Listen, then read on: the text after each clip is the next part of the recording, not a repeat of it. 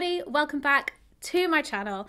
I am very excited for this video. This is one of those like really niche videos that I make every year and I think there's like a small handful of you who are as equally passionate about this as I am and the rest of you are like, I'm sorry, what?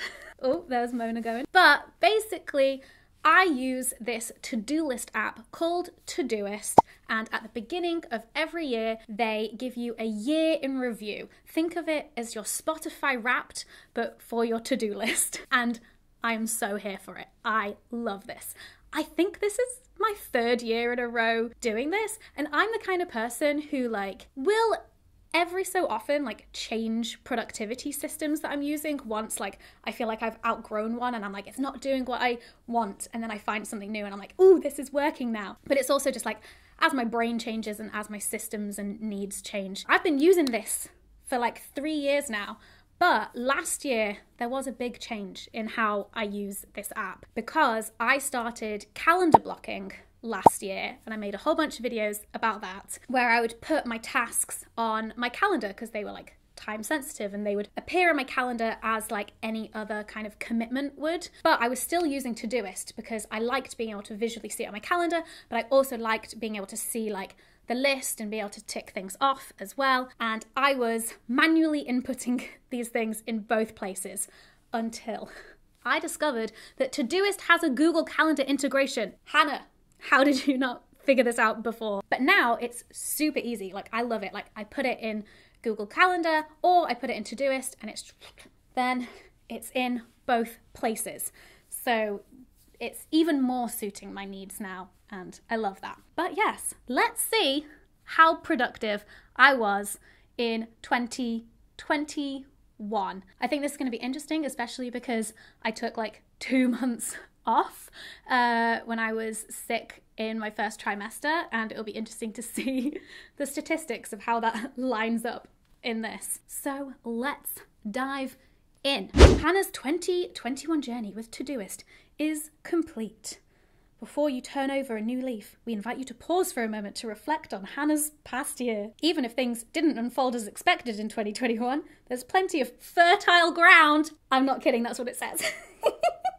ahead in the year to come for everyone. That's hilarious. I was like showing Dan my bump the, the other night and I was like, do I look fertile? He's like, You're not fertile at all. You're like, You're so unfertile right now because you've already been fertilized. It's a very silly conversation. Fertile ground, let's go. The number of tasks they completed during the year 1,375. How many is that on average per day? A quick calculation 3.76.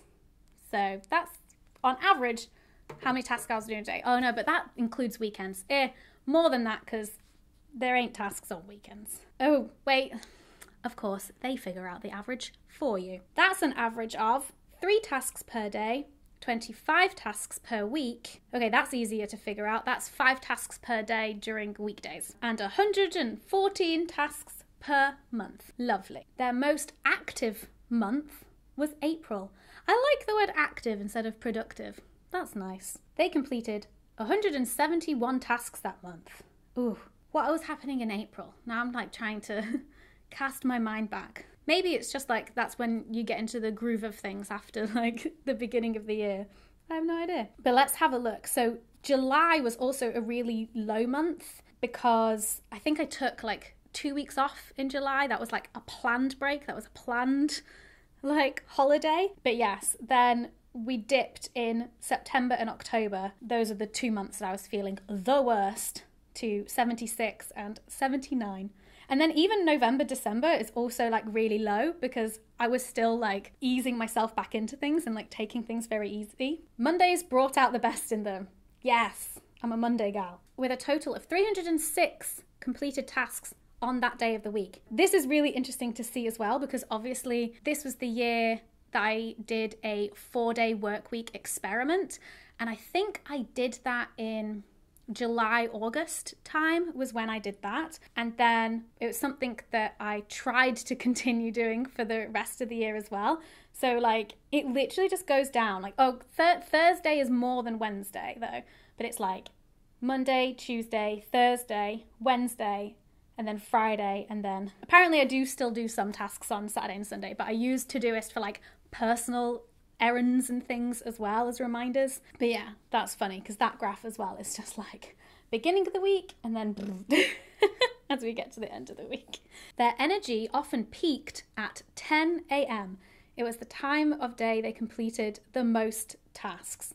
That makes sense. I consider myself a morning person. Apparently, there's like two tasks that I completed between uh, midnight and 2 a.m. What were they? Seven tasks between 6 and 8 a.m.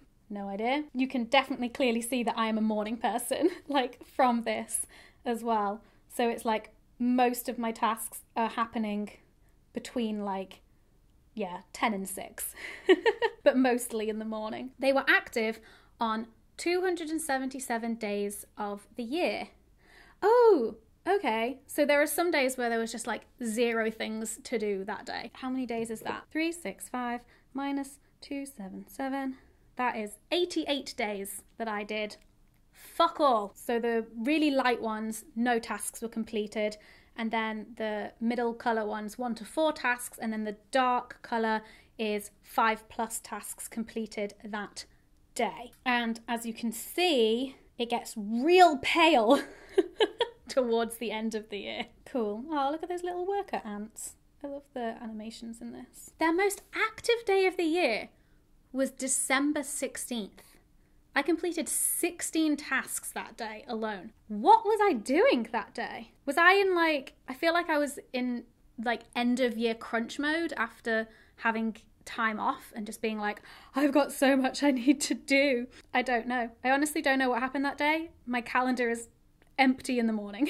oh, it was probably like lots of tiny little things that didn't go that didn't sync to my Google Calendar. So it only syncs to my Google Calendar if I give it a time in Todoist, but I still add tasks that don't need like a specific time if it's just something like small. But that makes sense because Friday the 17th was mine and my assistant's like last day of work before Christmas. And so clearly, like on that Thursday, was just like getting everything done. And I think there might have been some tasks that day that had subtasks. And I don't know if Todoist counts like subtasks that you add in as a task? I, I don't know. They postponed the most tasks on Tuesdays and at 2 p.m. I don't know. Maybe that's because I always like front load my week. I always like put the most stuff on a Monday and a Tuesday.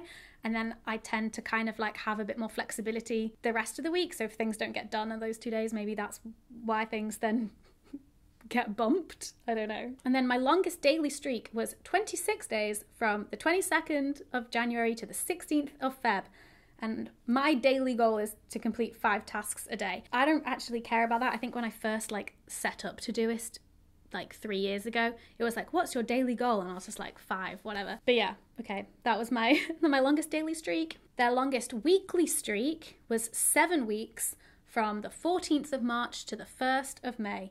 And apparently my weekly goal was 30 tasks a week. And then I hit a bunch of karma points, which is like, I don't know, I think Todoist like gamify it slightly where you get these things called karma points, but I don't really pay attention to that. But apparently it means that I ended the year as a grandmaster. And apparently I'm just gonna need another 22,316 points to reach enlightened. So that's gonna be real easy. oh my god, I'm in the top 8%. All of their efforts put them in the top 100 and 50,000 of all Todoist users in 2021. I'm in the top 8%. Is that something to be proud of? There we go. That's it. that is my Todoist year in review. That was how productive or active, shall we say, I was in terms of completing tasks on my to do list last year. I really love this. It's very silly and fun. Are you a user of Todoist? What percentage of their users are you in? Hey, how many tasks did you complete this year? I hope that you're well. Thanks so much for watching and indulging my very silly productivity passions. Um, and I will see you in my next video. Bye.